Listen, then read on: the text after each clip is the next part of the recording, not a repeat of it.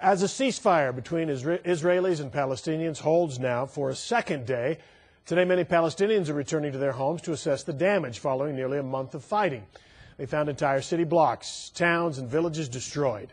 The current ceasefire is the longest lull in a war that's killed more than 1,000 Palestinians and nearly 70 Israelis, including three civilians. A half dozen firefighters from North Texas just returned from that area just north of the Gaza Strip, and they can confirm that terrorist attacks on Israel happen every day. Fox 4 News' Melissa Cutler reports these firefighters who usually rush in to save others had to learn fast how to survive themselves. This is video taken by a North Texas firefighter on the front lines of Operation Protective Edge last week, running for cover in Israel as missiles constantly flew overhead.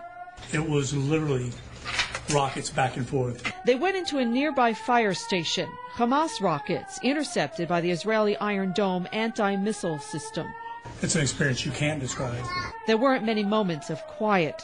I went into the operations chief of the fire department and he told me we need to start pulling the guys from the border for the main fact that they were receiving intel that Hamas was going to start abducting people, taking hostages it was pretty pretty hairy situation. The firefighters are part of EVP, the Emergency Volunteer Project.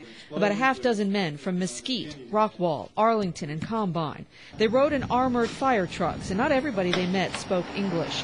One of many hurdles they had to overcome. You can sit down with an Israeli firefighter and discuss things and figure things out in firefighter language. Sign language. Yeah, and, and it's a brotherhood, and you make it work.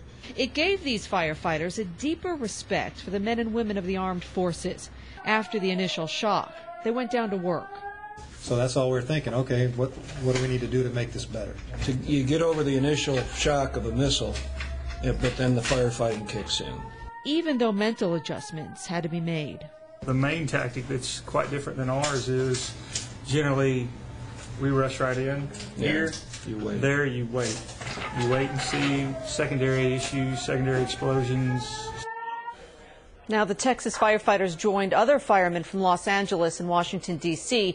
And as dangerous as it was, they say they wouldn't hesitate to go back if the conflict continues and they are called upon to do it again. Steve. Melissa Cutler in the Dallas Newsroom. Thanks.